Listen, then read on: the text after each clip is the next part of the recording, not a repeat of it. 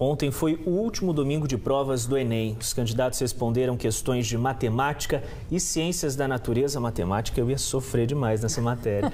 Foram quatro horas e meia de prova. Na região, cerca de 60 mil estudantes fizeram o exame em busca de uma vaga na universidade. É, e no Brasil inteiro, 32% dos inscritos não compareceram. Mas quem foi prestar a prova estava confiante e esperançoso para ser recompensado depois de um ano inteiro de estudos. 6 milhões e 700 mil inscritos voltaram aos locais de prova neste domingo para a segunda fase do Enem. Na região, eram mais de 60 mil candidatos. 2 mil somente na cidade de Cruzeiro. Acho que eu vou bem, estudei bastante. Como que tá esses momentos assim? Ah, tá um pouco tenso, cara. Tá, tá difícil.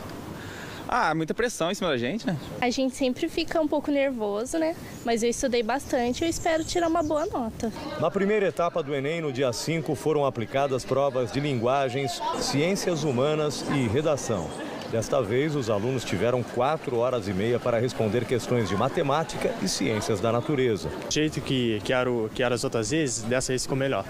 Que dá mais tempo, então a pessoa pode botar a cabeça no lugar. No primeiro, você já tira a semana para poder estudar e no segundo você já complementa. Como no segundo domingo agora é física, matemática, você já tem um tempo para treinar mais e guardar as formas para poder fazer o cálculo. Os portões fecharam pontualmente a uma da tarde. Na escola Oswaldo Cruz, em Cruzeiro, ninguém se atrasou. O gabarito com as respostas será divulgado pelo INEP na quarta-feira, dia 15 de novembro. Já o resultado final, com a publicação das notas, vai ser em 19 de janeiro de 2018. O gabarito do Enem será divulgado na próxima quinta-feira, no dia 16, no portal do INEP e no aplicativo do Enem.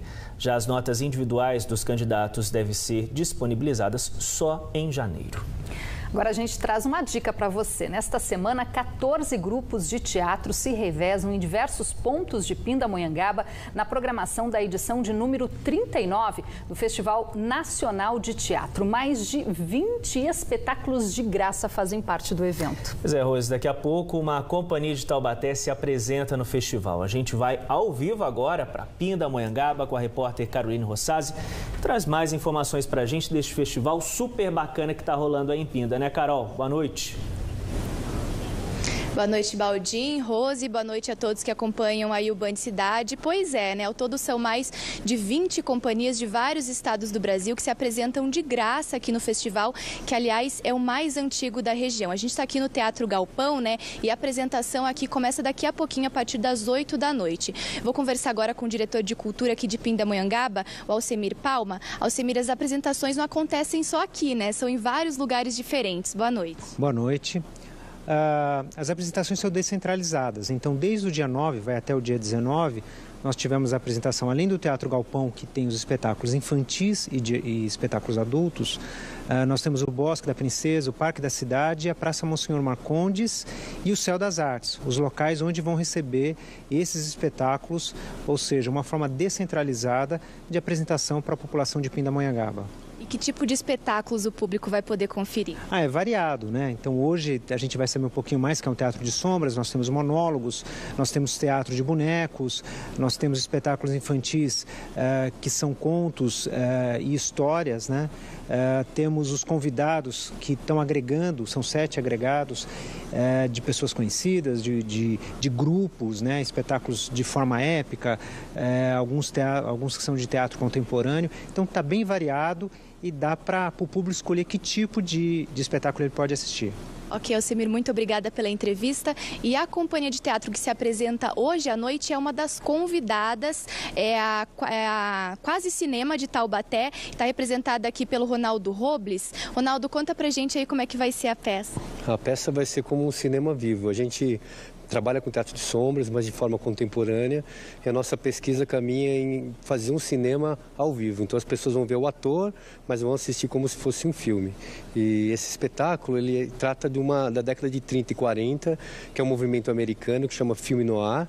Né, que começou com a literatura, fala de corrupção, de assassinato, de é, lavagem de dinheiro, nada, nada a ver com o Brasil. É, vocês são convidados, primeira vez que estão participando do festival, como é que é estar tá aqui? É uma alegria, sim. Fomos convidados, sim, para participar. É, é, muito bom estar aqui, vendo os grupos que estão. A importância de um festival desse acontecer é muito grande, porque a cultura é o lugar onde a, assim, a verba é menor de todas e com a crise, o corte é tremendo. Então, o desafio da cidade em manter o festival e fazer, isso é maravilhoso. Então, quem tem que dar essa resposta é o público. Por isso que eu digo, apareçam, lotem o teatro para ter continuidade e isso acontecer mais vezes. A cidade está de parabéns. Tá certo. Muito obrigada pela entrevista, uma ótima apresentação para vocês. Tá aí então, para quem se interessou, a programação completa está disponível no site da Prefeitura aqui de Pinda. Rose, Baldim. Valeu, Carol. Obrigado. Obrigada, Carol, pela dica.